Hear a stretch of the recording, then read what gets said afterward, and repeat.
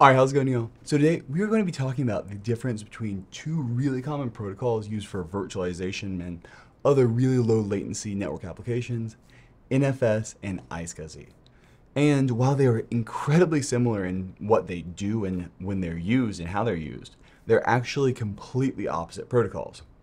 NFS is file-based and iSCSI is block-based. And those are two things that are about as different as they can be when it comes to file protocols. All right, so first off, what are these two protocols, NFS and iSCSI? Both NFS and iSCSI are protocols that let a file server basically share out data in one way, shape, or form to another device.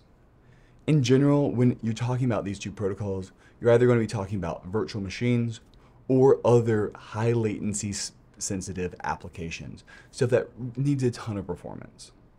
You're not really going to be mounting either one of these to your computer because you just don't need it.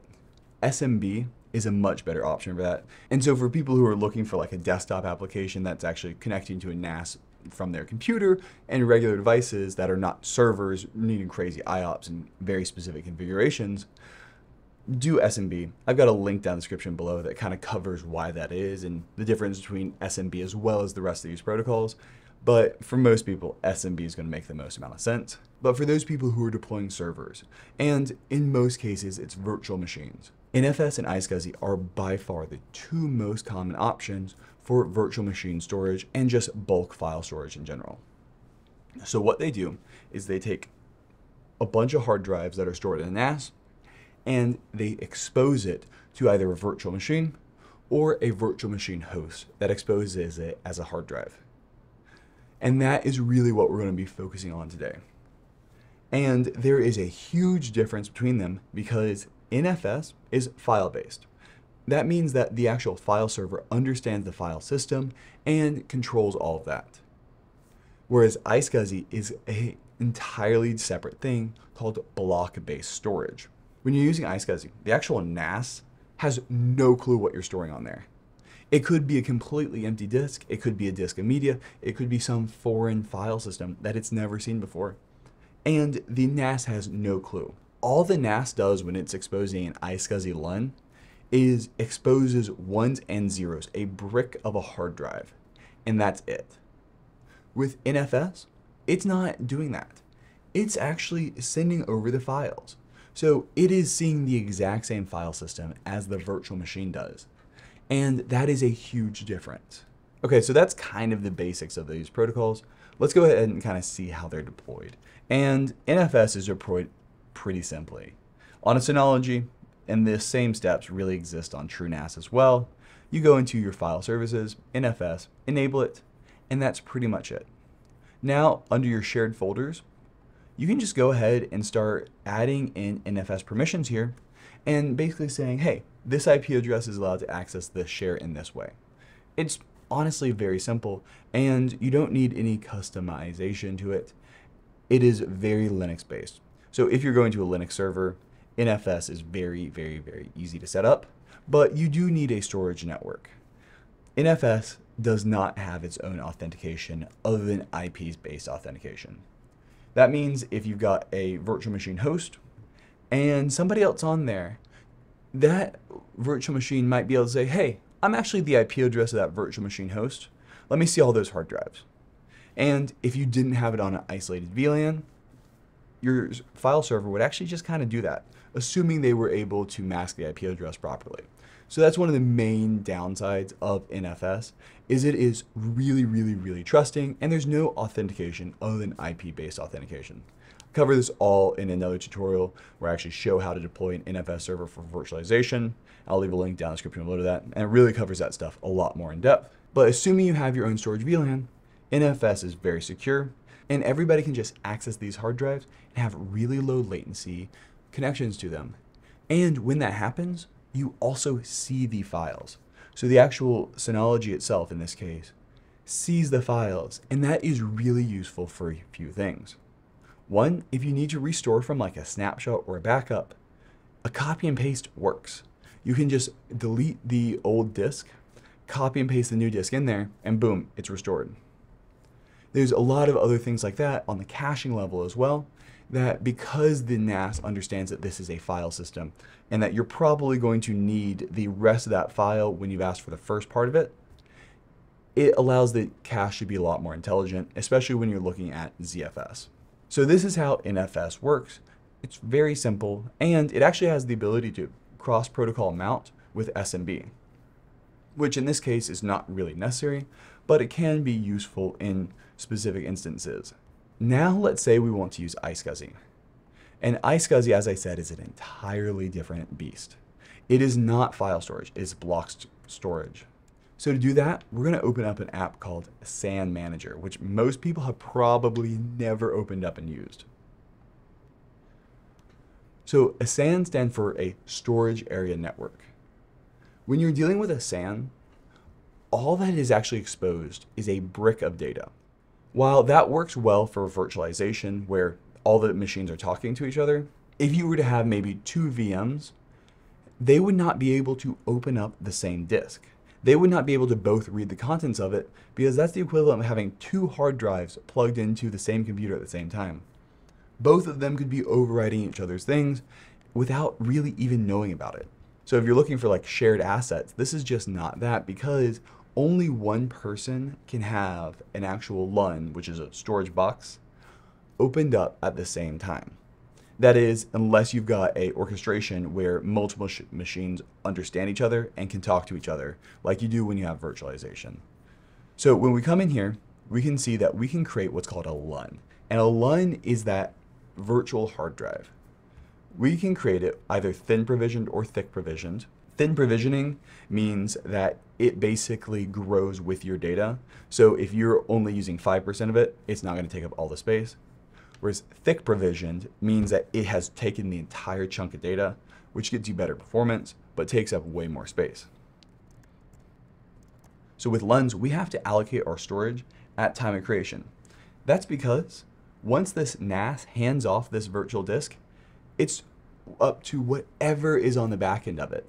And so we can't just live increase more space like you can with NFS, because if you did, well, the actual device hooking up to this iSCSI LUN would have no idea what to do with that extra space or that extra space even exists because it's managing its own file system. So if I say it's 10 gigabytes, the only way to increase it is to shut everything down, increase it, and then let the device go ahead and expand the file system. So we're going to go ahead and do thick provision 10 gigabytes just for fun. And then you also have what's called an iSCSI target. And that is essentially what's going to manage the iSCSI LUN. And some basic permissions that we can go ahead and go in more depth here. Okay, so now that we've got our iSCSI target, we can also go ahead and create a new host. And the way we're going to do this is actually in combination with our virtual machines. So I'm going to go ahead and log in here. Okay, so this right here is my Xen Orchestra, which is what runs all my virtual machines. And this is what we're going to use really quick to add a new iSCSI initiator. Okay, so now the way this ends up working is the host and the client kind of find each other. They both can discover each other. You can actually manually create each on either side first, but it's way easier to just let iSCSI kind of discover each other, and then from there you can set everything.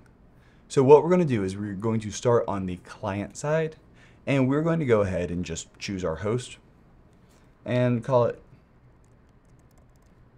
and we're going to start our iSCSI. And now we're going to go ahead and plug in the IP address of the server we've got right here, which is 116 and hit find. So then we can see there's this exact same storage target right here that we have just created. And so we're going to select it.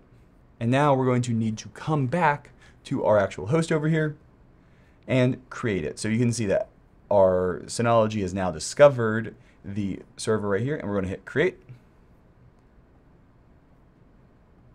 And automatically add it on in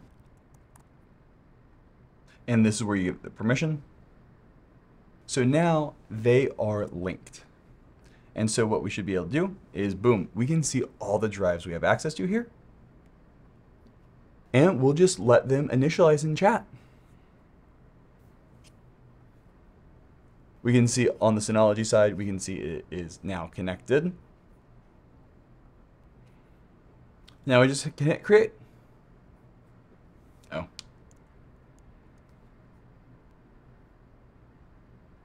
So now it's going to reach out and create that entire brick of space that's going to be allocated to this device. Okay, so now I've got my iSCSI storage LUN in here. And it is going to act really similar to my NFS disk. But the thing is, my NAS has no clue what's stored on here. That's because it is just an iSCSI LUN. It's just a hard drive. The most information we get about it is this right here. I switched it back to thin provisioning so you can see how much space we've used, but we just simply do not have any way of knowing what files are in here or how they're stored. And the reason that that matters is things like replications and backups and snapshots are not nearly as effective.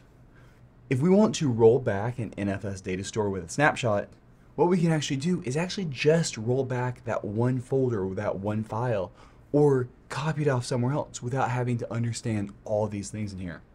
That's because when you're using NFS, you're dealing with files. So I hope that kind of helps understand the difference between iSCSI and NFS. NFS has files really simple that you're used to working with, whereas iSCSI, it's really just like a hard drive. But a hard drive that can be shared between multiple computers if the server allows it. So in this case, I actually have multiple virtual machine hosts. That's because I actually have the ability to have a cluster on my XCP-ng servers. And so it's actually intelligent enough to have both of these drives plugged in at the same time. And so it's able to handle it because it's a cluster and it knows who's got which part of which disk active at a time. But with a regular iSCSI LUN, it's not like you could have two Windows computers pulling files off of it at the same time. Now that we kind of understand what NFS and iSCSI are, let's talk about when to use which. And I'll be completely honest with you, if you're looking at virtualization, you can't really go wrong.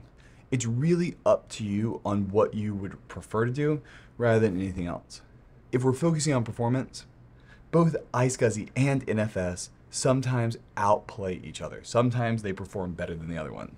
In general, if we're looking at purely random reads, I think in general iSCSI does perform better, but there are so many cases, and it's not like it's twice as fast or anything like that. It's all generally lost in the noise, and sometimes iSCSI is faster, sometimes NFS is faster, and it really depends on what you need. If you're looking for like super high IOP specific workflows with like databases, and you don't care about any kind of copy on write features or replications or things like that, then I do think iSCSI does perform better, but is it necessary? The other thing that iSCSI does have is a thing called multipathing. iSCSI can actually use multiple network connections at the exact same time and do a thing called multipathing where it will actually be able to use two 10 gigabit connections to another server that has two 10 gigabit connections and actually be able to load balance the traffic in between the two of them. And so that's what makes iSCSI really powerful, is you have those capabilities and those features. Another thing that iSCSI has is really easy out-of-the-box authentication. And so you can enable CHAP right here, and it will allow you to basically create a username and password that both of them have to agree on, both your server and your client have to agree on to be able to talk to each other. And the reason that's so powerful is, compared to NFS, you just don't have that.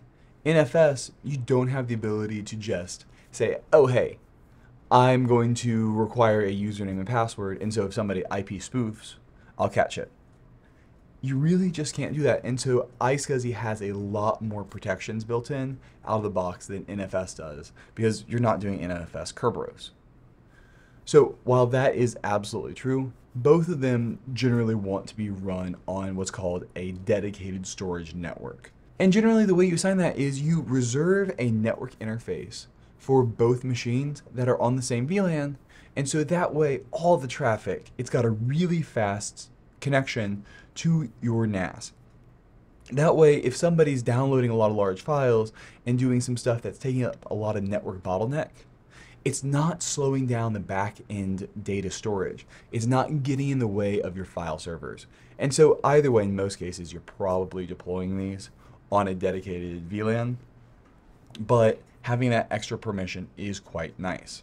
Okay, so performance-wise, if you're not somebody who is really using iSCSI multipathing, so you're somebody who's not super concerned with saturating one network connection worth of bandwidth, so if you've got a 10 gigabit connection, you're probably not hitting enough virtual machine data to use that unless you've got a very fast server. So if you're not worried about that, the performance between NFS and iSCSI tend to be not that far off each other. And so really the end option is which should you use is whatever makes sense to you. If you're familiar with iSCSI and you understand the limitations when it comes to allocating space and setting up LUNs and things like that, iSCSI is very powerful. And there's a lot of great options on there, and you can use this to add on a lot of hosts. But for me, I end up choosing NFS most time because it is just more efficient for what I'm doing. The compression is going to be more efficient because we're talking about file-based stuff rather than arbitrary block-based things.